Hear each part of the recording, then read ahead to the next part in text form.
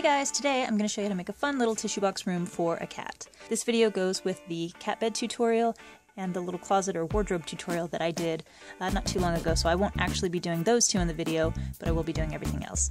Always ask a parent for help before starting any craft, and for this project you'll need a Hey y'all! Eustace, what are you doing? The end of the video, silly! Oops, y'all. See you soon! So I start with a wide tissue box, remove the front and top piece, reinforce, cut out some pieces of cardboard for your bottom, back and sides.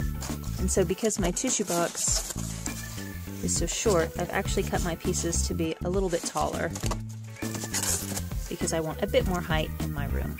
Wrap each piece in scrapbook paper or craft paper.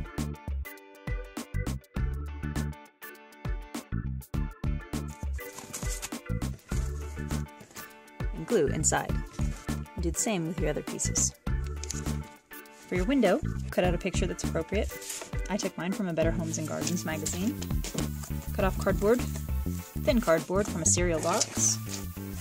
Glue together.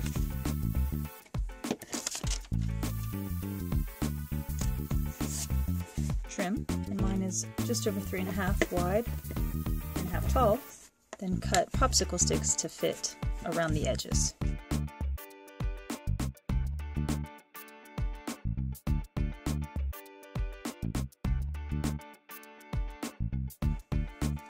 Cut another piece to fit inside. And then two more along the tops and bottoms. And glue in place.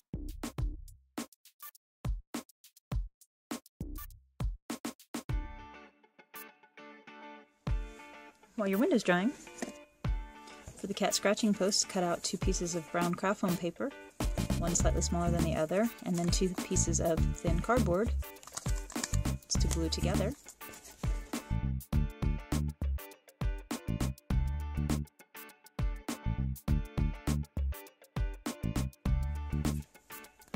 Allow to dry. Take a thin strip of paper at the height for your cat. Roll it. Glue it shut.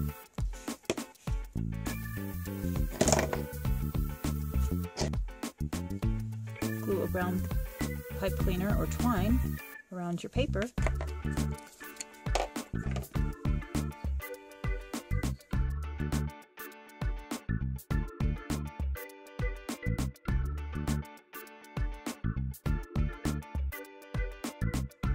Take some string, I'm just using two little strands here. You don't need it to be very long and you want to make sure that it will fit inside of your bead. Um, you want a fairly small hole with your bead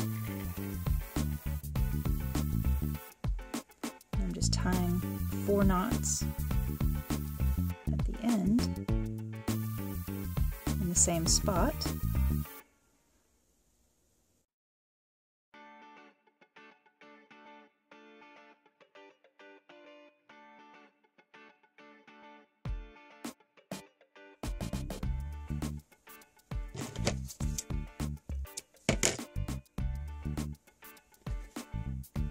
My string through and that my knot is big enough that it won't go through. So I can trim this excess here. And I've got a little ball that dangles from some string. Set that to the side. When dry, trim your pieces.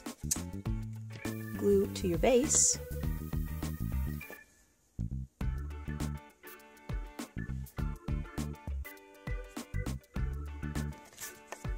before gluing your top piece, glue your dangly section. Or you can just tape it. And while that's drying, we can glue our window. And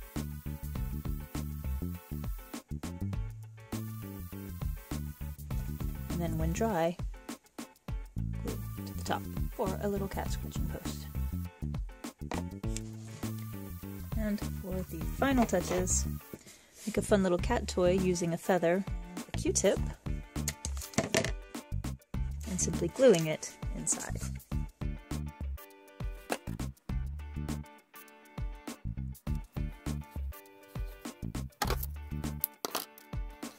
Or a fun little cat toy for your cat. Add little games. So this is just a game of checkers. I made this a while back, just using red craft foam paper, drawing lines, filling in with black marker, and then using a hole punch to cut out bits of craft foam paper. Well guys, I sure hope you enjoyed the video. Thanks so much for watching. Don't forget to subscribe, check Rainbow Tinkle out on Facebook, and be sure to tune in for my next project. Okay, Emma up. Is it my turn? Yeah? No? Yes, baby? Emma? Good? Yeah? Hmm? Okay. I'm doing it. I'm doing it. I don't care what they say. I'm doing it. All right, y'all. Special shout out to Pineapples Rule, LPS Savior, Haley Warley, and Moon LPS. Thanks so much, y'all. Now I'm gonna get on my horse and get on out of here. All right, horsey, let's mow it. Psst, Eustace. Yeah, sugar. That's a rocking horse. Whoops.